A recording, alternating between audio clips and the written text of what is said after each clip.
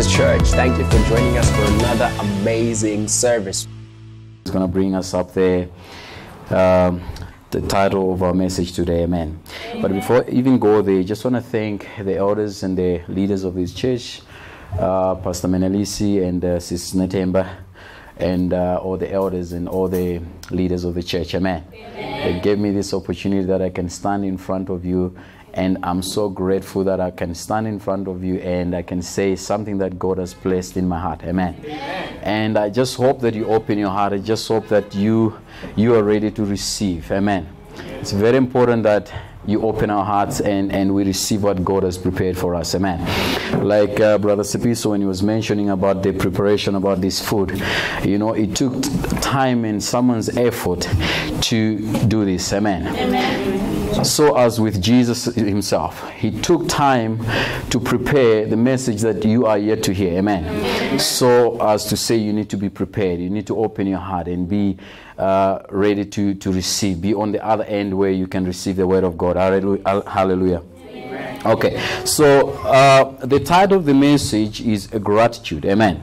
But now there's a subtitle message which, which is um, Let It Be Known. Amen. Amen. Let it be known. So we're going to talk more about it and we're going to hear what the Lord has uh, placed in my heart. Amen. Amen. Uh, but before we go there, um, as I was preparing this message, I just went through, you know, the dictionary and, and just check what it really means, uh, gratitude. Amen. Because we often understand this as, you know, the way we appreciate people, the way we appreciate God, the way we uh, you know, do things in a way to say thank you. Amen. Amen. But there is, there, is a, there is a certain definition here that caught my eyes when I was reading this. Amen. And um, this says the quality of being thankful. And that's the meaning of being gratitude. Amen. Amen. The quality of being thankful. And I did highlight the word quality. Amen. Because indeed there's a quality of doing things. Yes. Amen. Amen. In the kingdom of God, in the house of the Lord, there is a quality of you being thankful. So it's not just about uh, thank you and it ends there, but there is a quality, there is a way you can do things for the Lord. There is a way you can do things to appreciate when someone has placed or has given you something, has blessed you with something. There is a way you can say, it, there is a way you can do it. Amen. And this is what we want to hear from God. And then there are similar words uh, in the same definition as to uh, say gratefulness. Amen. Another meaning of gratitude is gratefulness. If you're great about something, you are being gratitude. Amen. You are showing your uh, your your gratif- you are gratifying your yourself uh, for the things that someone has blessed you or has placed on your heart. And also, uh, it just shows an appreciation. Amen. When you appreciate what someone has given you, that's also uh, a, a, a, sign of gratitude. Amen. Amen. And another word is the sense of obligation. You, you, you own it. Amen. You own it. It's on you that you can be able to say thank you for whatever you have done. It is a sense of obligation. Amen. So it, there is a way, there is a quality of being thankful. Amen.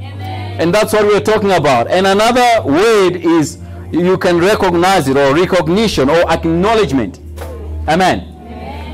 You have to acknowledge when someone has blessed you with something. You have to acknowledge when God has done something that you know it wasn't your power, it wasn't your might, it wasn't your effort, but only Jesus that He has done it. He has placed it in your heart, in your life, in your family, in your workplace, and all other areas of your life. That God has done something miraculous, has done something so powerful and so great yes. that you can't help it but to acknowledge it. That you can't help it but to say thank you. Yes. That you can't help it but to appreciate what God has done in your life. Amen. Hallelujah. Amen. So we, we have started by the way. Amen. Amen. Hallelujah. I just want to say this before you sit down.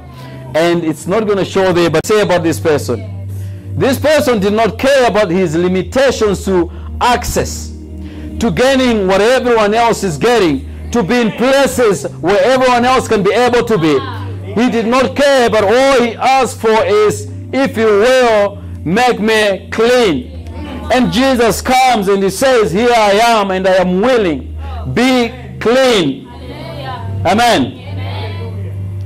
And as we continue, the Bible says that immediately the leprosy left him and he was cleansed. It does not take time, it does not take God minutes, it does not take him to consult for him to come to you. Amen. You might be in the same position as this person of leprosy, whereby you are stuck. You are stuck in, in difficulties, in the challenges where you are not able to relieve and lift up yourself. And Jesus here he comes and he says all he needs is for you to come close to him, to come to him and just say, if you're willing, make me clean. And Jesus says, I am willing and be clean. Hallelujah.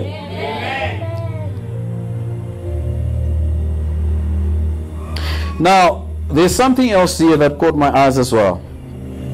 That's verse 43. Jesus sent him away at once with a strong warning. And I believe some of us we need a strong warning. Amen. Amen. That sometimes, and we're gonna we're gonna hear now why why Jesus sent him with a strong warning. Amen. And for some reason I was like, but then uh, why should there be a strong warning?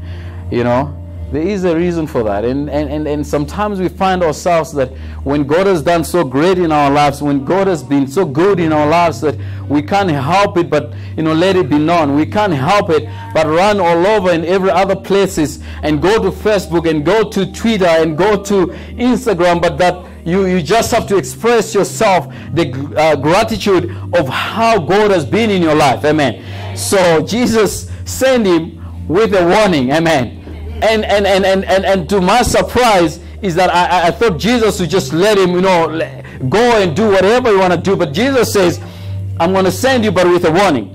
And, and, and the warning says here, see that you don't tell this to anyone, but go show yourself to, to the priests and offer the sacrifices, sacrifices that Moses commanded for your cleansing as a testimony to them. Church, Hallelujah. Amen. There is a quality of being thankful. Amen. There's a quality of being thankful. There is a way you can do things. There is a way God wants you to act and behave and do things. You cannot just run to Facebook and post things. And we'll hear now what happened after he ran all over and he showed his gratitude, you know, because God healed him. But there is a way, there is a quality of being thankful. And that's what we're talking about. Amen. Amen. There was nothing wrong in going around and preaching and, and saying all these things and, and appreciating what God has done. Amen. But what matters and what was important is how you can be grateful. Amen. The quality of being thankful. And the Bible continues to say that this was uh, a testimony that he must go to preach or rather tell and inform the priest as a testimony. Amen. Amen. Because there was a protocol back then whereby if you were healed, the elders uh, of the church and the, the leaders of the community needed to know that you are no longer in separation. You are no longer in loneliness. You're no longer in the places where everyone is. So now they can allow you, they can accept you, that you can be in the places where everyone else is. Amen. So that was the testimony. And we're going to preach more about that as uh, the, the, the, the time comes. Now, Instead, he went out and began to talk freely, spreading the news. As a result, Jesus could no longer enter a town openly but stayed outside in lonely places. Yet the people still came to him from everywhere. Amen. Amen. Hallelujah. Amen. Can you see that the way we can act sometimes can make God Himself, can make Jesus to pause a little bit. And, and it's, it sounds as if it's limiting to Jesus, but let me tell you this Jesus was not limited by the testimony of this guy in the town. He could be able to go into town and preach and still do what he wanted to do. He could go in there and still preach and heal those people who needed healing. But Jesus sent him with a strong warning for the reason that he knew that if he goes there, that which he has prepared, or those who were prepared may not hear what he wanted to say. Amen. Amen. And the Bible continues to say that the people still continue coming, even though he was not able to go into the town. People still flocked to him, seeking to heal uh, for healing, seeking for his help. They needed whatever they needed to him, but they continued coming to him from everywhere. That's what the Bible says. Amen. So the situation that Jesus was in was not limiting to him, to his blessings, to his touching, to uh, the glory that he was carrying. Amen. I just want to say this the grateful mindset is trained to focus on the opportunity and abundance rather than the negativity and the limitations. You are not limited. You are not focusing on the limitations of what surrounds you. Amen. Sometimes your home, your work, your friends, your colleagues may limit you because of based on whatever they're looking at you. But you're not limited to that. When you have got the attitude, the attitude of gratitude, you are not limited to what people may say upon your life. But you know what is in you, you know what God has placed in your heart, and you're able, you are able to do even greater things, even though you are in a time that is tight, even though you are in a time that you've been separated from the norm, from doing everything that everyone is doing, but you are able to do greater things. You're able to still reach out there and go out and let it be known because God Himself has placed something special in your life. Amen. God has changed your life. God has placed something that is moving in your life. Amen. And therefore, there's nothing that can limit you, there's nothing that can hold you. I can feel and I can imagine that this guy, he went running all over the town. And I, I- believe this is what he was saying. I don't know, but I'm grateful. I don't know how, but I'm grateful. I don't know how God has made it, but I'm grateful. I don't know how He has taken me from that place to this place, but I'm grateful. You know, it reminds me of Paul and Silas in the prison himself, in, in- in the prison. Oh. The walls of the prison did not limit them. They did not know how or where the help is going to come from. But all they know is that, but we're grateful. They praise God without the limitations of the walls of the prison. The guards that were guiding them did not protect them, did not even pose a, a, a limit or anything else that could stop them from praising God. Sometimes all we need is to just praise God. Sometimes what we need is to just be in the spirit and just worship God. Sometimes all we need is to just stand up and tell how great God is. Sometimes what we all need is to just stand up and tell who God is. Amen. Hallelujah. And as we're learning this, you know, gratitude is the testimony. Amen. It makes one preach before you know it. Amen. Sometimes you may think you're shy, but when God has placed something in your life that you are grateful for, that you ought to be thankful for, nothing can stop you. Nothing stops you from testifying. Amen. Nothing stops you from letting it known. Amen. Hallelujah. Gratitude can humble you. Amen. It changes the way you perceive God. It changes the way you look at God. Amen. It humbles you. No one else has encountered Jesus and remained the same. And in a similar way, you cannot be hit by a, a train and be the same. It's the same sense. You can never, you can never encounter Jesus and be the same. You can never be healed from the leprosy and be the same. No wonder we see this guy. He never considered the, the instruction that Jesus has given him. You know, the warning, the strong warning that Jesus gave him. He never considered that, but he went all out and preached the word of God and testify what God has done in his life. Amen. He have no limitations to that. Amen. Gratitude glorifies and honors God. Amen. Hallelujah. It glorifies God. And maybe before I go that, it brings the sense of joy. It makes the quiet people talk. Amen. Have you seen people sometimes they don't talk, but I mean, when God has got something in their life, you can tell that God is working. God is at work in their life. Hallelujah.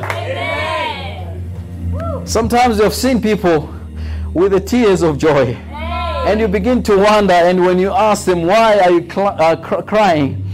And sometimes you think maybe there's something that is inflicting them, there's something that is bothering them, and they'll tell you that, you know what, this is the tears of joy, amen. And you may never know what they're going through. You may never be there to what they're going through. But I'm telling you this that it is the gratitude in their life, it is the attitude of the gratitude in them that they are able to thank God and to worship God. Amen. Hallelujah. It glorifies God and it honors God. Amen.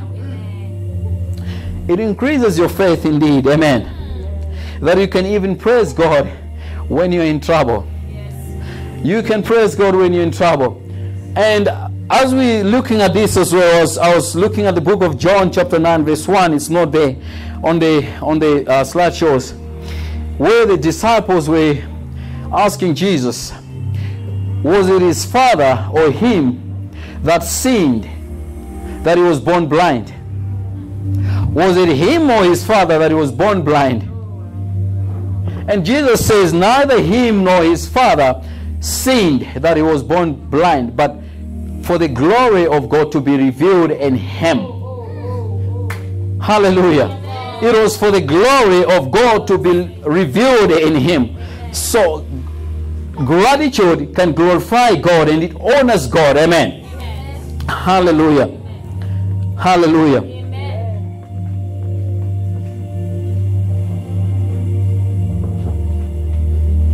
Amen.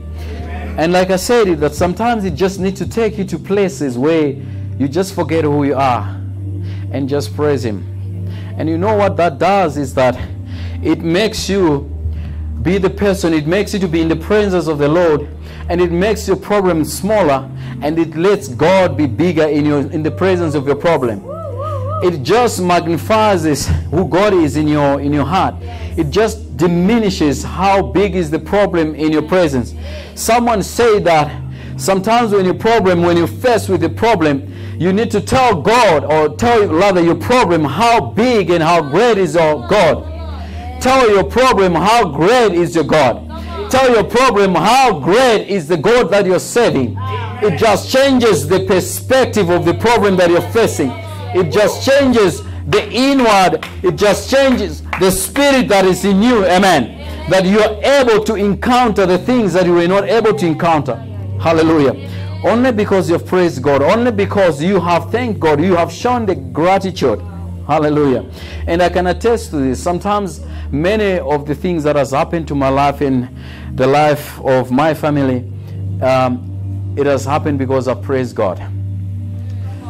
Sometimes God will give you things that you did not ask for because He knows what you really need. Oh, thank you. We may need money, but He gives you exactly what you need. You. You may come and pray, ask God for marriage, or ask God for work, and ask God for healing and things that you think you need. Yeah. But He gives you what you really need. And this happens in most cases, it happens when you're alone in the corner, and not when you're crying, but when you're praising Him. Yeah. Not when you are going out on the Facebook complaining about the troubles and whatever you're going through, but when you're praising Him. When you sit and worship God, things begin to change. Yes. You do not see, okay, who is there, whatever is happening around you, but all you know is that you need to worship. All you know is that you need to praise God. Amen. All you know is that you need to gratify God. Amen. What seems impossible suddenly suddenly becomes possible because of the same spirit. Because it, you, you, gratitude honors God. Gratitude uh, glorifies God. Amen. Hallelujah. We are about to finish. Amen. Amen. God is good. All the time. Hallelujah. So, as you're having the attitude of gratitude, you need to begin to appreciate someone until, you know, you don't have to wait for someone until they date. That's what I'm trying to say. To praise them, to appreciate them. You don't have to wait for Christmas to appreciate Jesus. Oh, you don't have to wait until your parents are old enough that you can come to them and, and, and praise them and, and visit them and give them just a call. Amen. You don't have to wait for some things to happen in your life for you to take an action of gratifying them. It, it- it's an attitude. It should just be in you that you can gratify other people, that you can worship God, that you can praise people. Amen. Hallelujah. The feeling of gratitude and not expressing it, it's like wrapping a present and not giving it. You cannot help it. You cannot have the feeling of gratitude and then just keep it there. You need to let it be known. You need to express it. Amen. You cannot wrap the present and just keep it there. Amen. So you can never have the feeling of, of gratitude and gratifying and, and appreciating and then just keep it there. The book of First Thessalonians 5, verse 16 to 18, it says, Rejoice always, praise continually, give thanks in all circumstances. Amen. Most cases, we, we, we focus more, when we talk about the gratitude, we, we, we feel it's more about what we are going through, meaning in difficulties, in times when we're in trials. But the Bible says that in everything, give thanks to God. There is no limitations to what you can glorify God. Ah. There's no limitations to what you can stand up and jump and shout and let it be known for what God has been in your life. You are not limited to the circumstances that you're surrounded with, but you can be able to praise God even if you're sick. You can be able to praise God even if you cannot talk. You can be able to praise God even if you are deaf. There is nothing that can stop you from praising God. There is nothing that can stop you from glorifying God. Amen. And the Bible continues to say that for this is God's will for you in Jesus Christ. Amen. It is in His nature, it is in His will that all be well with us. It is in His nature that whether we are going through difficulties, that whether we are happy, everything are going good in our lives, that we still praise Him. Amen. That things are still maintained as to from the beginning to the end of the earth. Amen. Hallelujah. And therefore, I'm saying this to you that Jesus should be the reason for this season. Amen. You're all looking beautiful because Jesus is the reason for this season. Amen. The gratitude, the appreciation that you're giving is not for Jesus, church. It is for Jesus Himself. Amen. It is for everything that He has done in your life that you need to begin to think, that you need to appreciate Him, that you need to take it as an obligation, that you need to take it in you, that you know what, I'll take it for myself. Remember, when God has placed something in your life, it is personal. Amen. No one else knows about what you're going through, only you. So it is your mandate, it is your obligation that you need to stand. That nothing stops you, but that you can be able to stand and praise Him. Amen. Whether it's on Christmas Day, whether it is on Easter Day, whether it is on your birthday, whether it is on the times when things are not going on likely or when things are going south, you still need to be able to stand and worship God. You still need to be able to stand and praise God. Amen. May we all stand. Hallelujah. Hallelujah. I believe that God has done something to all of us that we deserve to praise Him, that we deserve to honor Him, that we deserve to just say, Thank you, Jesus, for who you have been in our lives. Some of us, we could have been dead by now. The devil could have devoured us, but He saved us. He protected us. He fought for us when no one else was there. He made us, He stood for us when no one else was there. He fought for us when things were tight in our lives. When we were about to lose everything, like Job, but He fought for us. Amen. When things were not going the way we wanted, He was there for us. He stood by our side. Amen. Hallelujah. So I just wanted us to thank God I just wanted to praise God because He deserves it, and that's the reason why we're here.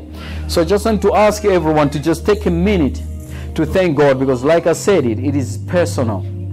It becomes your own thing because I do not know what God has taken you from to where He has placed you. Amen. Hallelujah. Some of us, we were, we were not supposed to be here. We were supposed to be worshiping the devil at some other place. But He saved us. He took us from those places where we could not save ourselves. And because we understand that it only took God, it only took Jesus Himself to save us, to put us on the places which are right with Him, we need to glorify Him. Amen.